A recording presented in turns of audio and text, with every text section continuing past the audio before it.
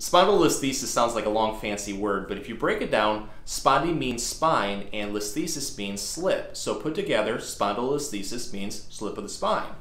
This is where one vertebra is shifting forward or backwards relative to the vertebra above or below it. It's most commonly seen at the lowest lumbar segment, L5, and the first sacral segment, S1.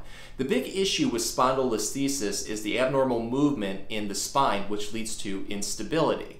So in the back of the neck, it becomes unstable, making it more prone to injury.